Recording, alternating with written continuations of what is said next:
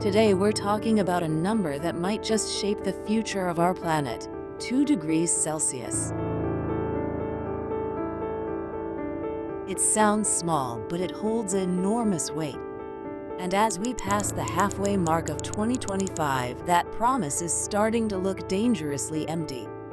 Let's rewind a bit the 2 degrees Celsius limit became a global climate target back in 2009 when scientists and world leaders agreed. If Earth warms more than 2 degrees Celsius above pre-industrial levels, the consequences could be catastrophic. We're talking about rising seas swallowing cities, extreme heat waves becoming normal, mass crop failures, and entire ecosystems collapsing.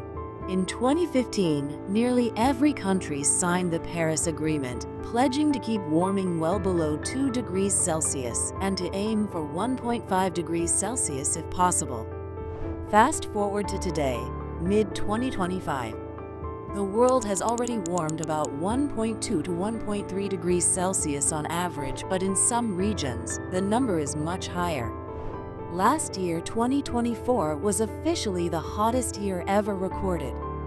Again, glaciers are shrinking faster, wildfires are burning longer, and oceans are warming at rates we didn't predict.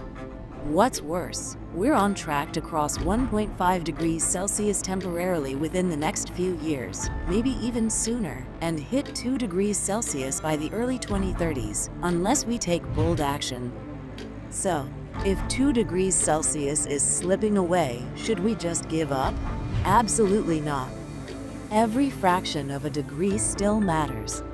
At 1.5 degrees Celsius, coral reefs mostly die. At 2 degrees Celsius, nearly all of them are gone. At 1.5 degrees Celsius, millions suffer from water stress. At 2 degrees Celsius, hundreds of millions do. This is about tipping points, crossing invisible lines that could trigger feedback loops we can't reverse. The good news? We still have tools to pull back. Renewable energy is growing fast, communities are adapting, and young people are refusing to stay silent.